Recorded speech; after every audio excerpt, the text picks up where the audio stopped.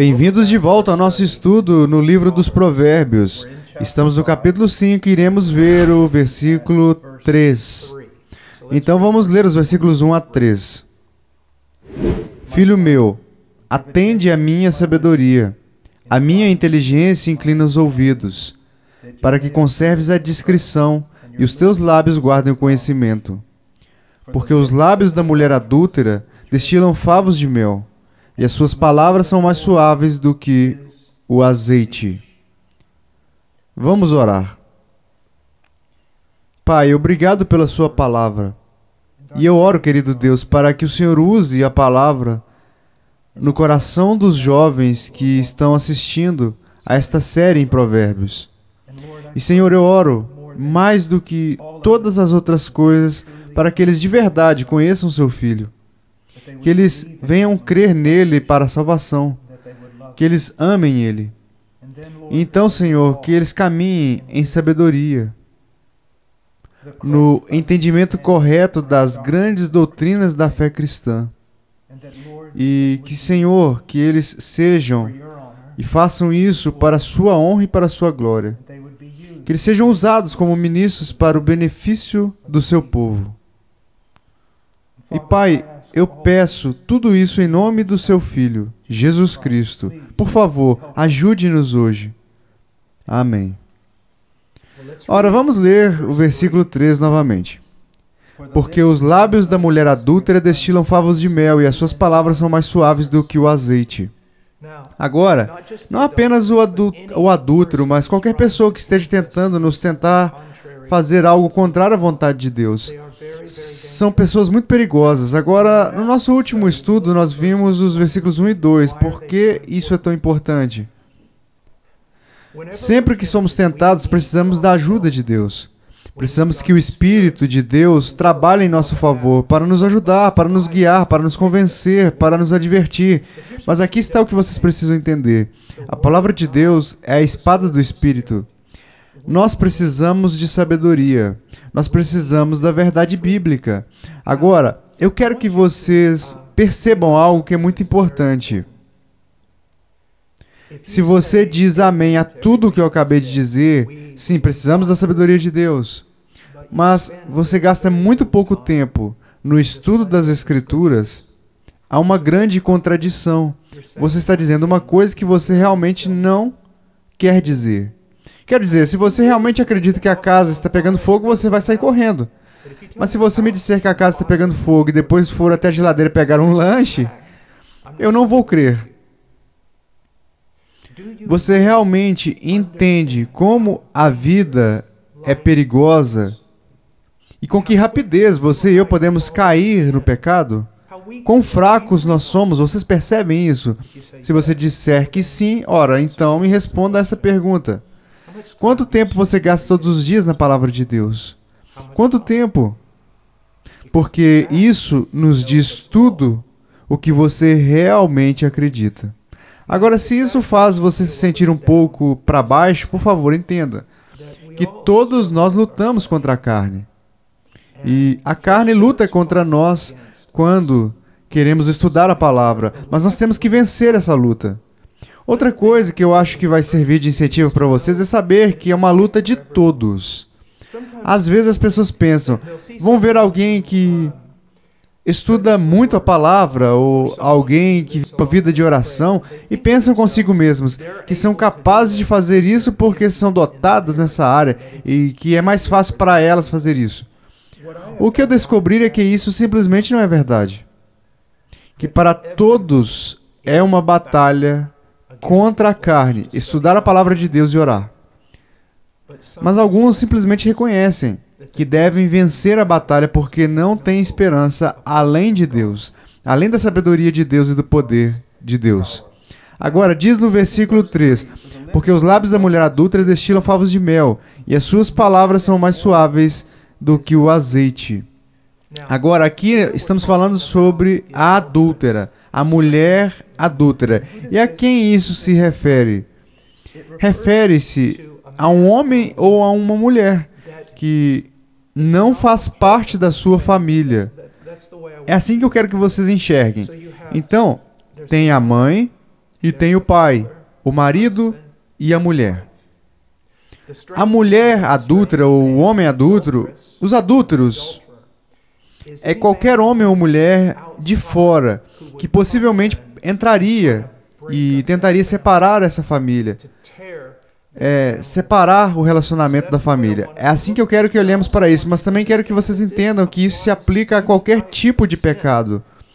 Qualquer pessoa que viesse até você e te tentasse a fazer algo contrário à palavra de Deus e sua vontade. Agora, aqui está o que eu quero que vocês vejam. Diz que os lábios da mulher adúltera é, ou do tentador destilam favos de mel e as suas palavras são mais suaves do que o azeite. Uma coisa que eu quero que vocês entendam é que a, a propaganda da imoralidade, a propaganda do pecado, é muito melhor do que o produto real. Uh, eu tinha um amigo no Peru, Paco Laos, e uma vez ele estava pregando um sermão e eu pensei que era bastante inteligente. Ele falou sobre a propaganda do pecado. E ele falou sobre um homem caminhando por uma rua. E ele via toda, todas aquelas luzes piscando, sinais, belas imagens, promovendo todos os tipos de atividades mundanas e pecaminosas, mas era muito atraente, muito bonito. E assim ele seguiu os sinais até finalmente se encontrar no inferno. E quando ele perguntou às pessoas no inferno por que isso é tão diferente do que eu estava esperando, eles disseram: Do que você está falando? Ele disse: Ora, todos os sinais, as luzes, as belas imagens. E eles disseram: Ó, oh, isso foi apenas um anúncio. Isso foi apenas uma propaganda, não é o que realmente acontece. E é isso que vocês precisam ver: o pecado sempre se apresentará dessa forma, mesmo como algo belo. Na verdade, o apóstolo Paulo disse que o diabo até poderia se apresentar como um anjo de luz. Então, eu percebi que a propaganda é uma coisa, o produto é outra, completamente diferente. A propaganda pode ser linda, a embalagem pode ser linda, mas o que está dentro é distorcido, horrível, feio, venenoso, mortal. E você não pode fazer parte disso. Você não pode fazer parte disso. Agora, lembra do que aprendemos na última lição? Você pode ouvir a sabedoria e evitar todas as coisas. Ou você pode dizer: sabe de uma coisa? Em vez de aprender e viver, eu vou viver e aprender. Eu vou testar para ver se é verdade. Isso não é muito sábio. Imagine isso. Sabe, deixe-me dar um exemplo extraordinário. Imagine que alguém tinha uma pistola, um revólver, e disse a todos os outros: Sabe, essa pistola está carregada, e se você puxar o gatilho, uma bala irá disparar. E se for apontada na direção de qualquer pessoa, essa pessoa será ferida e pode até morrer. É perigoso. E você chega e diz: Ora, eu sei que ele disse isso, mas eu quero provar para mim mesmo. Então você pega a arma, aponta para sua cabeça e puxa o gatilho. Não teria sido melhor apenas ouvir? Ouvir a sabedoria, especialmente quando é a sabedoria de Deus. Agora, uh, eu descrevi essa mulher adúltera, ou literalmente essa mulher estrangeira, referindo-se não apenas a uma mulher, mas também pode ser um homem que quer vir de fora e acabar com o casamento. E terminar um casamento. Agora, aqui está o que eu quero que vocês saibam. Sei que vocês são jovens, mas eu quero que saibam algo sobre o casamento. É fechado, ok? Agora, o que eu quero dizer com isso? Quando você se casa. Ora, deixe-me colocar dessa maneira. Quando eu me casei há muitos anos, há 30 anos, uh, com a minha esposa, o nome dela era Charo Casado. Agora é Charu Washer. O pastor que estava celebrando isso, ele tinha algumas perguntas para nós. E uma de suas perguntas para mim foi: Você aceita essa mulher para ser sua esposa? Eu disse sim. Eu disse sim. Mas você sabe o que mais? Eu disse não. E você diz: Ora, o que você quer dizer? Quando eu disse sim para minha esposa, para esta mulher, esta filha de Deus. Quando eu disse sim para ela e a respeito dela, eu também estava dizendo não para todas as outras mulheres do mundo. Vocês estão entendendo? Sim, eu a levo. Ela é a minha esposa. Eu vou ter um relacionamento especial com ela. Eu olho para todas as outras mulheres no mundo e digo: não, você não é minha esposa. Eu não tenho um relacionamento especial com você. E você não pertence a este lugar aqui, ok? E é muito importante. Eu quero ler aqui para vocês. A minha esposa pertence ao meu lado e tem um relacionamento íntimo comigo. Somos mais próximos do que amigos. Na verdade, a Bíblia diz que somos um. Nos tornamos um. Estamos unidos. É por isso que, bem no início, ele disse: O homem deixará pai e mãe e se unirá à sua mulher. Estará ligado à sua esposa. É uma ligação sagrada. É uma aliança sagrada. É um contrato sagrado. E ninguém deveria entrar ali. O que Jesus disse? Lembre-se do que Deus uniu, nenhum homem separe, nenhuma mulher separe. É por isso que vocês precisam ter tanto cuidado. Um dia, quando vocês encontrarem alguém, se você é um jovem, você irá encontrar uma jovem. Ou se você é uma jovem, irá encontrar um jovem. Você precisa perceber que uma vez que você entrar nesse relacionamento, é para ser até a morte separar vocês. E ninguém mais pode entrar lá. Ou mesmo sequer se aproximar para te tentar a dividir, separar o que Deus uniu. Agora, eu escrevi aqui: a minha esposa pertence ao meu lado e tem um relacionamento muito próximo comigo. Outras mulheres devem se apartar de mim. Elas devem ser removidas de mim. Elas não fazem parte de mim. Deve haver uma distância entre elas e eu, física, emocional e espiritualmente. Sabe, eu posso ter um amigo, eu posso trabalhar, eu trabalho aqui na Hot Cry e há irmãs piedosas que trabalham aqui. Podemos falar um com o outro, mas o que vocês precisam entender é que sempre há uma cerca e há só uma mulher que entra por ela e fica ali. E é a minha a minha esposa. E você tem que ser muito zeloso em guardar isso. É extremamente importante. Se houver um muro entre você e o pecado, então o pecado não vai te atingir.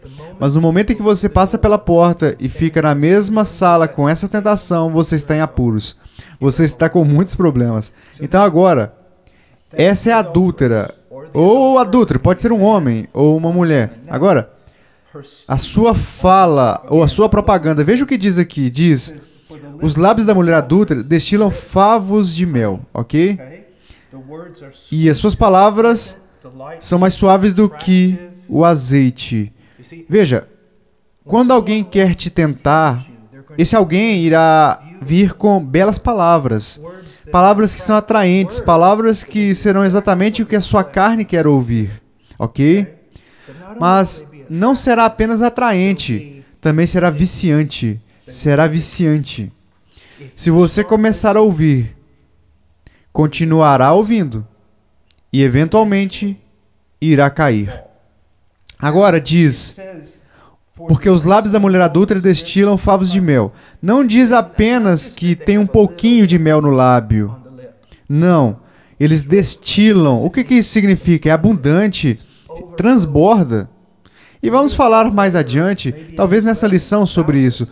Isso é chamado de manipulação, sedução. E vemos isso o tempo todo, sabe? Se você está na internet, assiste TV, há comerciais, não, não há? E esses comerciais vão dizer exatamente o que você quer ouvir. E assim é a tentação.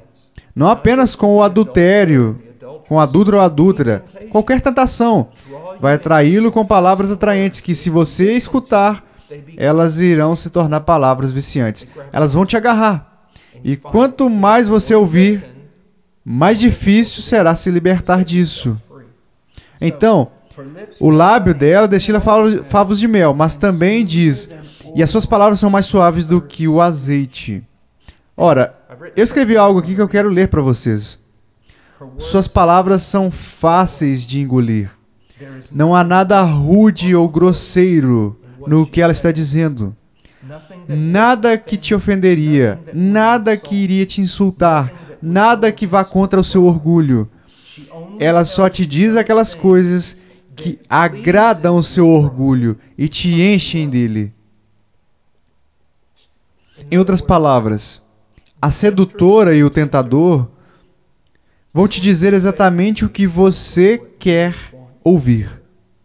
Sabe, quando você tem verdadeiros amigos ao seu redor, eles, eles vão te encorajar. Eles vão falar coisas que vão te abençoar, que vai te edificar, mas também vão falar coisas que são verdadeiras sobre você e às vezes você não vai querer ouvir. Não vai ser agradável. Você pode até ficar irado com eles por causa do que falam de você. Mas aí você fica sozinho, principalmente você entra na palavra ou na oração e descobre, quer saber o que? É verdade. Ora, alguém que vira para te tentar nunca vai fazer isso.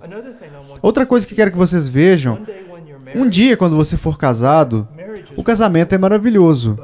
Mas o casamento pode ser extremamente difícil. Por quê? Dizem por aí que são dois pecadores vivendo próximos um do outro. Nenhum de nós é perfeito. Não seremos perfeitos até que sejamos glorificados. E então o casamento pode ser difícil. E nesse casamento pode haver um histórico de dificuldades.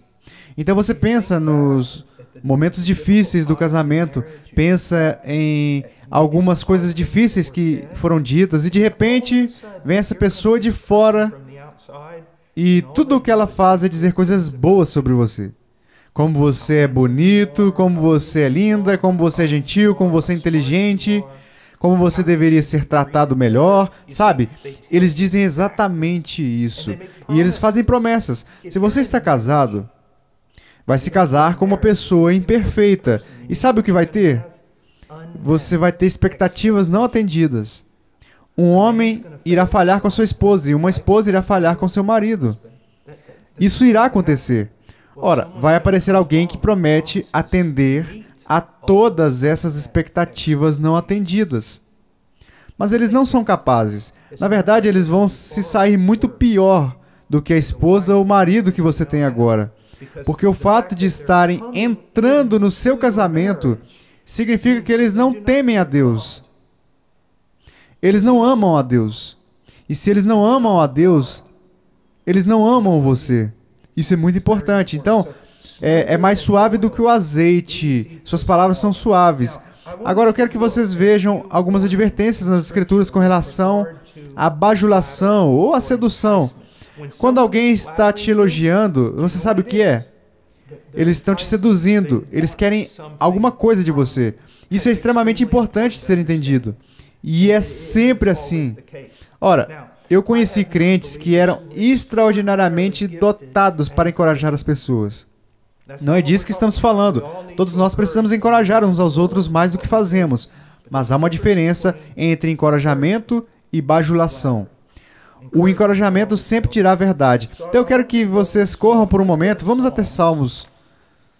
Uh, Salmo capítulo 5.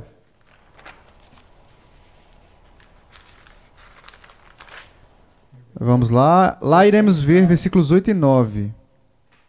Diz: Senhor, guia-me na tua justiça, por causa dos meus adversários, por causa dos meus inimigos ao meu redor, pessoas que querem me tentar, pessoas que querem me destruir com a tentação delas. Então, Senhor, me guia. Eu preciso que o Senhor me guie. Eu preciso do Senhor me guiando. Endireita diante de mim o teu caminho. Me ajude a andar em linha reta, andar prudentemente, como diz Paulo em Efésios. Versículo 9. Pois não tem eles sinceridade nos seus lábios. É, bajulador, veremos o que ele está falando. É, pois não tem eles sinceridade nos seus lábios. Nada. Não há nada de verdade, ok? Você não pode confiar neles. O seu íntimo é todo crimes. A sua garganta é sepulcro aberto. Pense sobre isso. Uma sepultura aberta com o corpo, não sei se vocês já viram algo assim. Eu vi, é muito desagradável. É difícil de suportar. Mas é assim que eles são por dentro. E essas palavras deles estão vindo de dentro.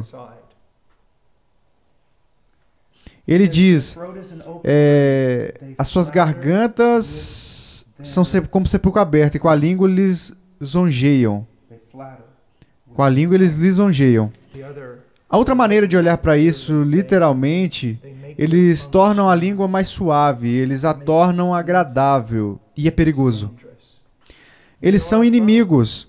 Um bajulador vem até você e ele é inimigo. Agora você precisa amar seus inimigos, mas você precisa ficar longe deles. E certamente você não precisa ouvi-los. Então, quando a tentação vem, a Bíblia não nos diz para sentar lá e ter um diálogo com a tentação, mas é para fugir dela. E veremos isso ao prosseguirmos com este capítulo.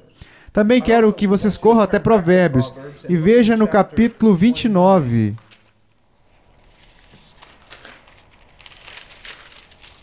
Versículo 5. 29, 5. Então, se vem uma mulher ou vem um homem de fora do casamento e eles entram nesse casamento e começam a dizer coisas lisonjeiras, veja o que temos no 29, 5 de Provérbios. O homem, ou poderia ser uma mulher, que lisonjeia seu próximo, arma-lhe uma rede aos passos. Vocês estão entendendo isso? Portanto, queremos e temos que ser muito cuidadosos com todas as tentações. E não podemos, precisamos reconhecer isso. Quando a mídia, a internet ou a televisão nos dizem algo que está fora da vontade de Deus e o apresentam como algo muito atraente, nós precisamos olhar para isso como um, com um não, não, não, não. A princípio, o lado de fora pode parecer agradável. Mas quanto mais profundo eu entrar nisso, mais irá parecer um túmulo fechado, uma sepultura fedorenta, podre e aberta. Agora, algo que eu quero que vocês saibam: se você cair e seguir a bajulação, agora isso vai ser meio difícil, mas eu quero que vocês ouçam. Em Provérbios, capítulo 7, versículo 21 fala sobre, mais uma vez, a adúltera. Poderia ser uma adúltera. E como ela irá bajular? Como irá seduzir, bajular com a sua língua? Diz: seduziu com as suas muitas palavras, com as lisonjas dos seus lábios o arrastou. E ele num instante a segue, como o boi que vai ao matadouro, como o servo que corre para a rede até que a flecha lhe atravesse o coração, como a ave que se apressa para o laço, sem saber que isso lhe custará a vida. Portanto, isso se aplica não apenas ao adultério e à imoralidade, mas a todo tipo de pecado e todo tipo de tentação. Quando o diabo, quando os demônios, quando um ser humano nos tenta, diz: com as suas muitas persuasões, seduz, com seus lábios de lisonjas, arrasta e ele segue. E o que significa quando diz que ele segue? Significa que se vocês já ouviram a terminologia, você é simplesmente um tolo? Ora, é isso que está acontecendo aqui. Ou se você já ouviu a terminologia, um cérebro de pássaro, isso é o que está acontecendo aqui. Basicamente, uma pessoa tola. Um tolo. E precisamos ter muito cuidado aqui. E você precisa perceber que quando o mundo fala com você e você escuta, você precisa se arrepender da sua tolice e voltar para a palavra. Agora, eu quero que vocês vejam algo que é muito importante aqui, que um homem sábio, um homem verdadeiramente sábio, é capaz de enxergar através disso. Se ele tiver sabedoria, verá que a lisonja é simplesmente uma sedução e é perigosa. Ele vai enxergar e irá rejeitar. E é por isso que vocês precisam de sabedoria. Vocês precisam de sabedoria desesperadamente para que você possa enxergar através disso. Veja, lembre-se, eu ensinei isso muitas e muitas vezes. O livro dos Provérbios simplesmente não te ajuda espiritualmente. Ele ajuda você de todas as maneiras possíveis. Te ajuda na escola, nos negócios, na matemática, te ajuda na vida, te ajuda nos relacionamentos, em absolutamente tudo. É por isso que às vezes, com tanto, eu não sei, sabe, zelo, imploro, eu não, é, não seja tolo. Você não precisa ser um tolo. Ninguém precisa ser simplório ou tolo. A Bíblia promete que o livro dos Provérbios pode tornar qualquer pessoa sábia. Agora, uh, eu quero que vocês apenas. Eu quero resumir fazendo algo aqui. Eu quero que nós eu quero que olhemos para o contraste entre os lábios de um homem sábio e os lábios de uma pessoa adúltera, os lábios de um tolo, os lábios de um tentador, alguém que iria te tentar. Eu vou apenas ler aqui. Os lábios de um homem sábio reservam ou armazenam conhecimento. Eles colhem esse conhecimento, eles compreendem e eles falam. Os lábios do adúltero, do aliciador, do tentador, gotejam palavras mais suaves do que o azeite, mas desconsideram totalmente a verdade, eles não se importam com a verdade. Há uma palavra que eu quero ensinar a vocês, chama-se utilitário. Eles simplesmente falam o que for mais útil para eles para conseguir o que querem. Você não quer uma pessoa assim perto, você quer uma pessoa que irá falar no temor de Deus, em reverência a Deus e por amor a você. O sábio precisa de conhecimento para poder dar uma resposta ao adúltero. Ok? Agora é por isso que essa passagem começa em Provérbios 5, falando sobre ouvir, ouvir, aprenda. Você precisa de sabedoria para poder responder a um adúltero, para poder responder à tentação. Mas aqui está algo com o qual eu irei finalizar, e é muito importante para vocês. Já escrevi aqui. Você precisa responder à tentação, mas precisa responder rapidamente e depois fugir. Não entre em debate com a tentação. Não entre em debate com o tentador.